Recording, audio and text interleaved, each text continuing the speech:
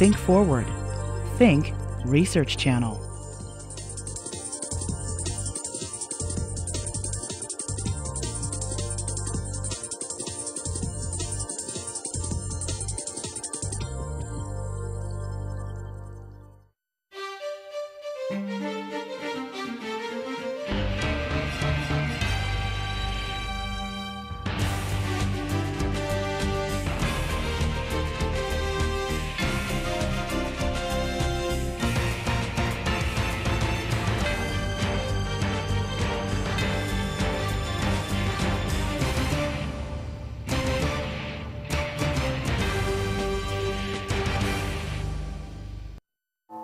Next on Closer to Truth. When people hear that we discover planets by the gravitational effect that planet has on its host star, they say, You mean you don't actually see the planet? And I say, No. Gravity is as much a signature of something's existence as a direct photograph. If you live in a cabin in the woods, you come to learn what a bear footprint looks like very quickly. And if you see such a footprint outside one morning, you'll start looking for the bear that was once there.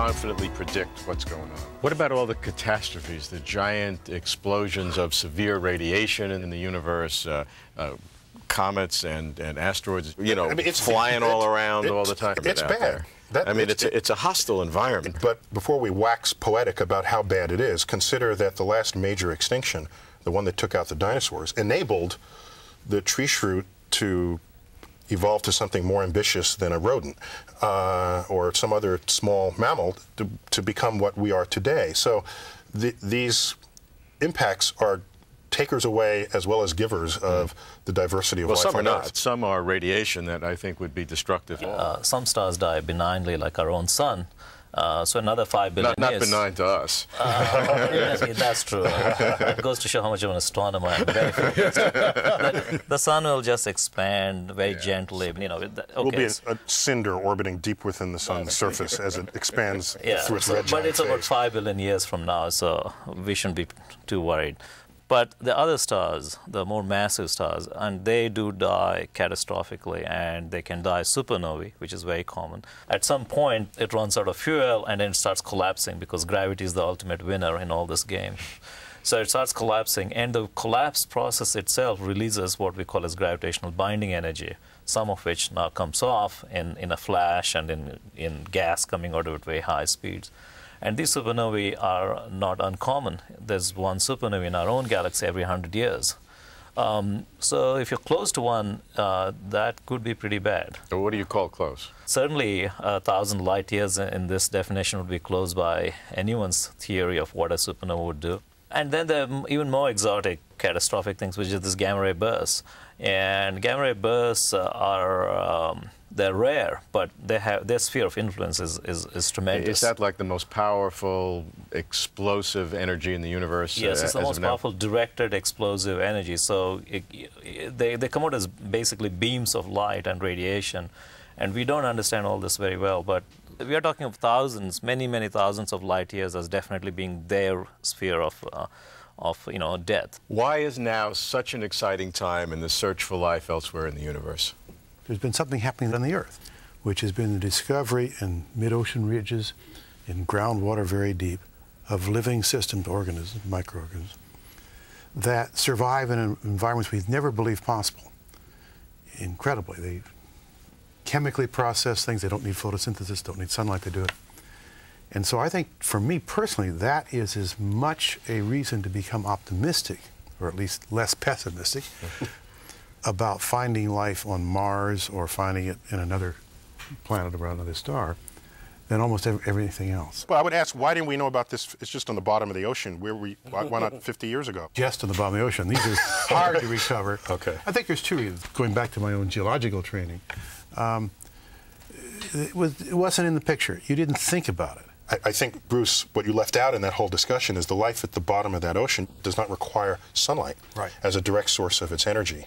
And once you remove the sun as a requirement, it allows you to think of other ways you might have energy to sustain life. When you teach uh, introductory astronomy, you talk about uh, this habitable zone around a star. And let's take describe what that yeah, yeah uh, let's take the sun for example. Life as we know it requires liquid water. All right, in the naive sense of this notion. And so, if there's a planet a little too close to the host star, the water would evaporate. Miles a little, away. A little too far away, it's frozen. And so there's this sort of Goldilocks interval where you have liquid water. And for quite a long time, that concept dominated our thinking and our discussions about how and where we might look for life around in, in another star system. What are some of those conditions? Uh, you need energy. That's the ultimate part you need to get life going. It can be tidal, it can be solar, and so on. How about extreme cold? That's interesting because the satellite of Jupiter called Europa has an icy crust. We know that. And probably not terribly thin. There's probably salt water below that. So maybe that's kind of like the Arctic Ocean or the Antarctic. And there are studies that have been done that have detected organisms that really do seem to be able to live in the ice. If you stick a thermometer, it's minus 20 degrees centigrade. It's below freezing, way below. And the organisms not only can survive, but they can apparently live. But the fluid within them is still liquid. Right. So yeah. they're not in a frozen yeah, state. They're not somehow. little solid things. Solid. Right. yeah, right. Yeah.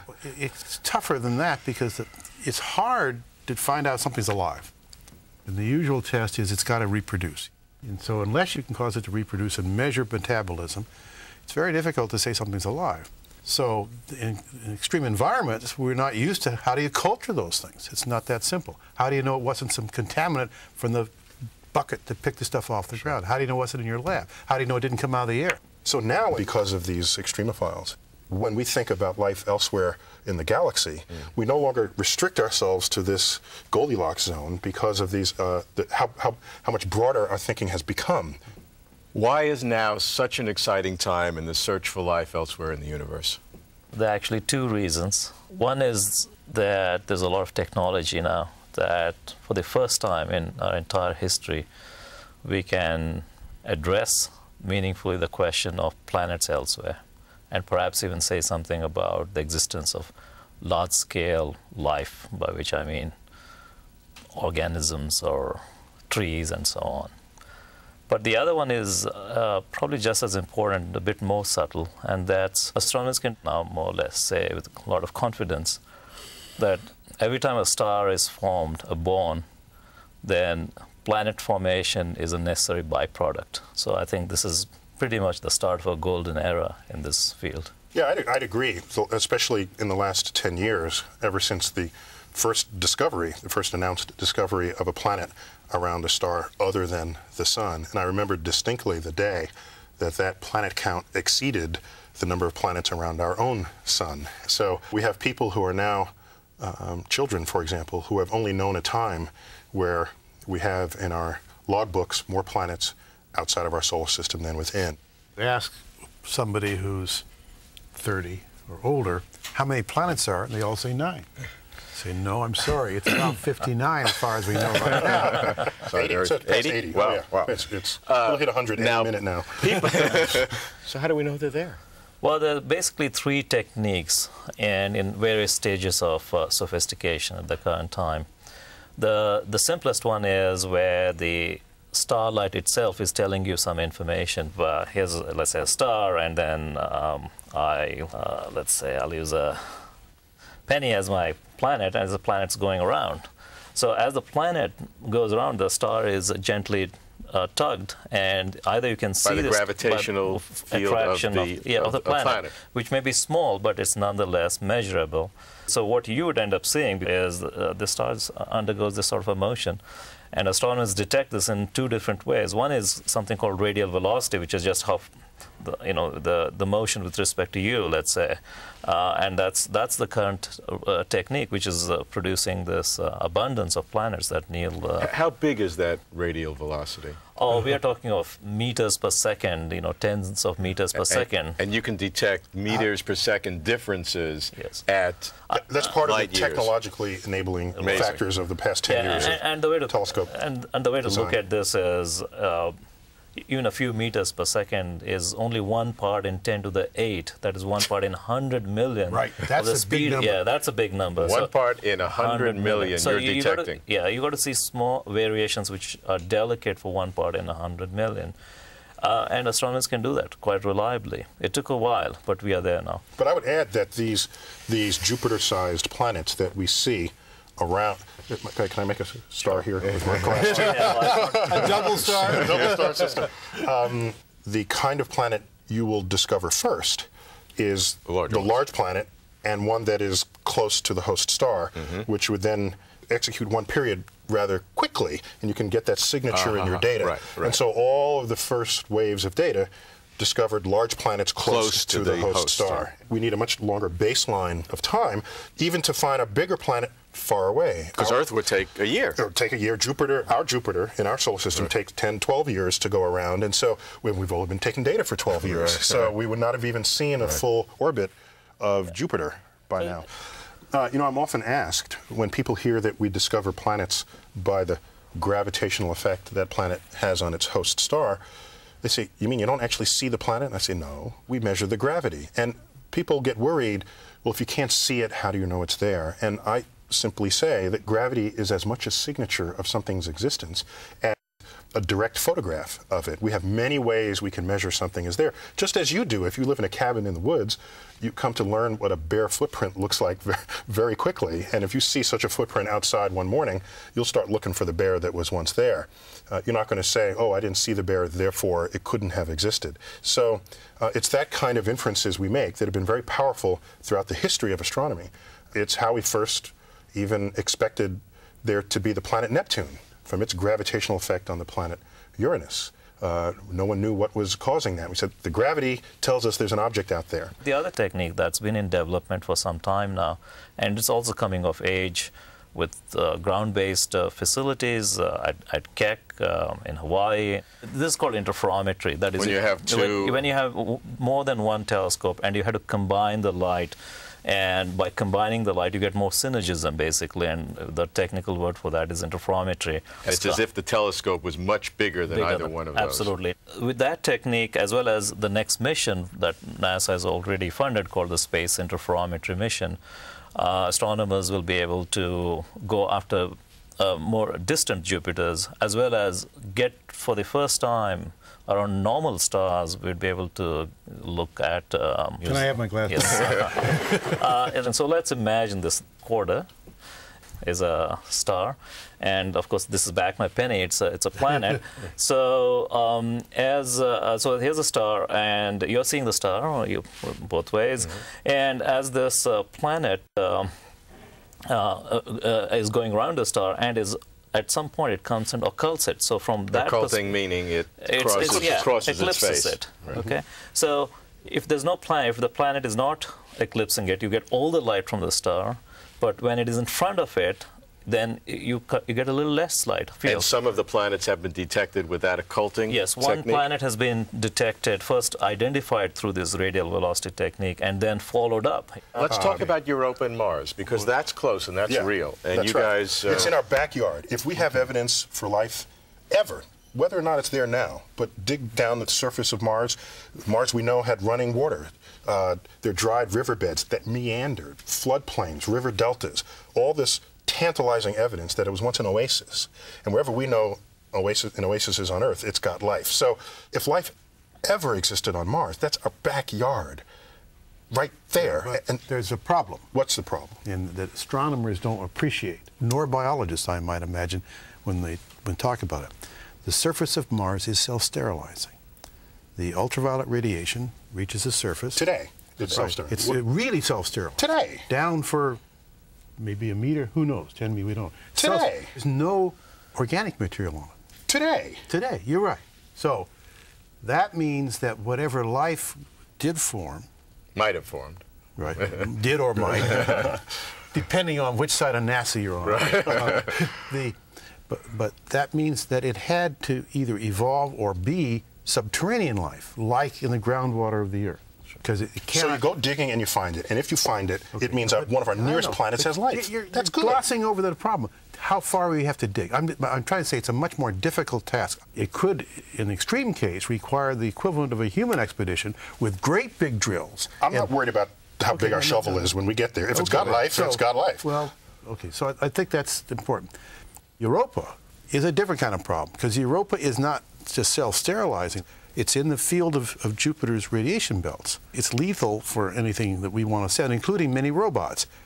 So you have to build the uh, uh, same kind of technology used in a nuclear weapon, or that you use Hardened electronics. hardened yeah. electronics and so forth. So again, it's not easy.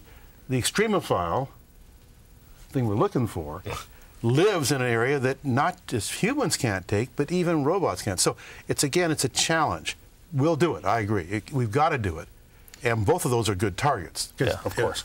Let me come back to my Earth-centered, solar-centered view, but I think it's quite relevant. Which is the a overriding question about us, a philosophical, and it's really a religious question, is: Are we something special here in this solar system, and therefore our Earth's kind of special, and therefore the fact that we're sitting here talking is special, or is that really very common throughout this, the galaxy? That, that's probably a, about as important a question as I know how to formulate scientific, that, that, that could be answered with science. Or are we the freak?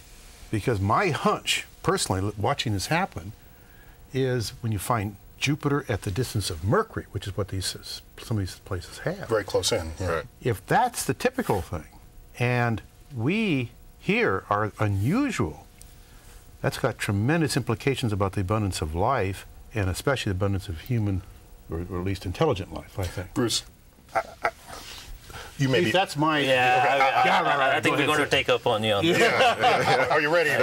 Okay, Neil, you go ahead. No, first. yeah, I'll start first. Okay, go ahead. I'll soften them up for you. No, I, I'm, I'm quite confident that life is not only hardy, given how many environments we find it on Earth, it's also uh, easier than we know to form.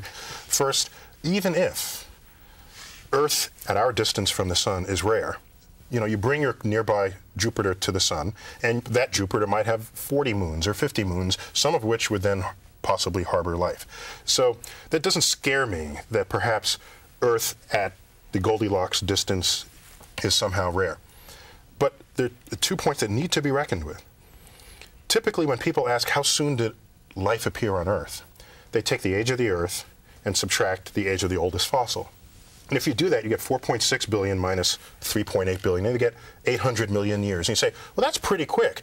But it's better than that because Earth spent about 600 million years in a period of heavy bombardment vacuuming up the remains of the solar system. And the Earth's surface basically sterilized because of the deposited energy and the heat. It was basically molten for 600 million years. It's not fair to start your stopwatch at the mm. beginning of that because complex molecules can't survive it. Wait till we cool down, then start your stopwatch. 200 million years. That's nothing in a cosmic timescale. It seems to me if life were something hard, it would have taken Earth a little longer than 200 million years, maybe several billion years. And one final point if you look at the ingredients of life, you learn in your biology class it's water. When you break apart water, you have hydrogen and oxygen. So you have hydrogen, oxygen, carbon, nitrogen. That's what we're made of. The chemistry of these ingredients is the chemistry of life. And you look in the universe, there they are in the universe. Hydrogen, it's got also got helium, but that's inert. So uh, oxygen, carbon, in the same order. If we were made of some isotope of plutonium, you could argue that we were rare. So I, I'm, I I have high confidence in this. And it's I not have just dream. I'm not just being dreamy here. It seems to me planet formation just empirically is very common. And we just know our planetary system well. And we know nothing about the remaining 90, 95%, which is why these, you need these missions, these other techniques. How many years light. do you think it will take to get a sufficient amount of information, as we're doing it now, to be able to make an informed uh, opinion about the uh, some generalities about what we can know in the immediate future? I think it's just money at this point. It's not like we're not smart enough to know what the questions are at this point. By the way, the questions we're asking, just as a caveat here, uh, a lot of the answers we'll be finding may be as a result because we're we're looking for our car keys under the lamppost uh, where, it's, where the light is illuminating it. Uh, there may be systems that, in fact, are unlike Earth that are just perfectly happy making life that we have yet to think of. And science is full of examples of, uh, like this. But it's just a matter of funding, funding the, the, the Kepler mission the sp space interferometry Yeah, so- mission. So I put it 10, 20 years Yeah. before we. I would say the, the main, the, the, the one that will really fill this gap between the radial velocity techniques and the occultation, which have similar sort of biases or similar sort of systems they'll find, is really the space interferometer mission and interferometry in general. So I would say by about 2015, because SIM will get launched in 2009, we'll, we'll have a fairly good idea of, of uh, an inventory of uh, planetary systems. looking for oxygen, you know, in, Yeah, in the so, atmosphere. so the, the next step really is how to do more detailed analysis. Occultation, as I said, is a relatively inexpensive here and now technique, but it requires very favorable orientation. So if you find evidence of planets, let's say around Alpha Centauri, then you really want to, you, you, you can't expect it to be all nicely lined up for you. We don't know how to make this mission. We don't know whether it should be in the infrared or optical, and this is something that astronomers are more actually thinking right now. Are- Are they talking about putting telescopes at opposite ends of the solar system? So Now scopes People will be dream that, but we, we got to work our way. they will be like you know tens of meters to perhaps uh, hundreds of meters, depending on exactly what they end up, uh, what whether which wavelength will operate. And this this this sort of a mission, which is called Terrestrial Planet Finder (TPF), it's being talked about.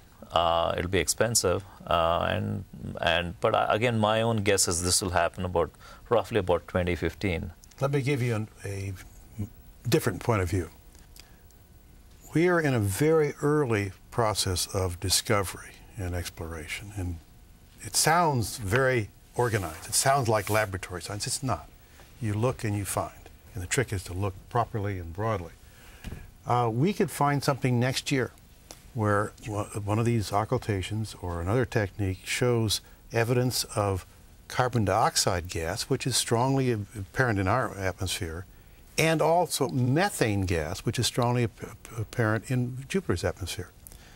What would be significant is those two are incompatible. One is an oxidized gas, carbon dioxide, one is a reduced gas, methane. And they're made of very common stuff. Now, if we got lucky, and if that happens, the overpowering conclusion is there's got to be a disequilibrium going on, namely life, because that's why we have that on the Earth. We have exactly that situation. Cow on the Earth. flatulence, giving us methane in the atmosphere. and plants giving us carbon dioxide.